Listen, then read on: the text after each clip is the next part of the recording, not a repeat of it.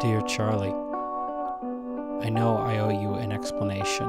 I'm sorry I left without saying goodbye, but I knew it would be too painful. Dear I Charlie, to get away. I've been on the road for nine days now. I'm on the outskirts of the Delanova territory after hitchhiking and being picked up by a young mother and her teenage daughter. They argue in whispered voices about someone named Jeremy. Dear Charlie, daughter refuses I haven't seen another living soul in two weeks now.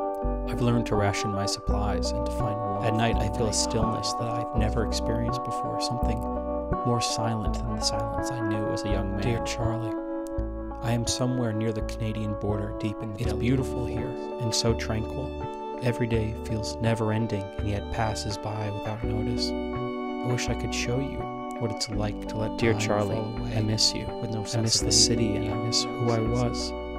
But I've fallen in love with the great, expansive unknown that is this mighty forest. I don't know if I can go back to who I was because I no Dear Charlie, I'm afraid, like to be. but I refuse to give in to my When I was a young boy, no older than seven, I remember walking through the woods with my stepfather, as it often was with my It wasn't until that moment that I truly felt I understood what it meant to be alive, to have that life and bond of love away. that we all seek. I've discovered it's the strongest. I don't know if you remember how we first met, but I do.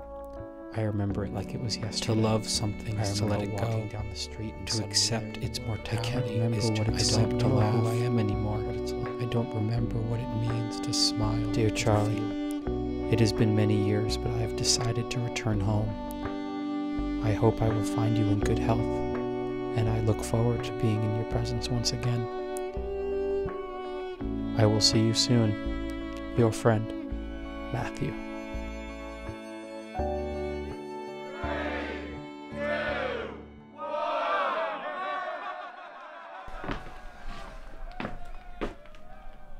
Charlie. Charlie. Charlie, wake up. I'm back.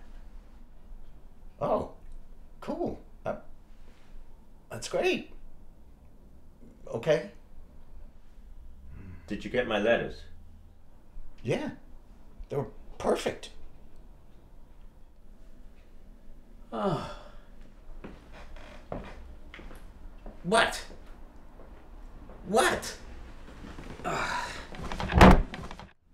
I'm gonna need more letters.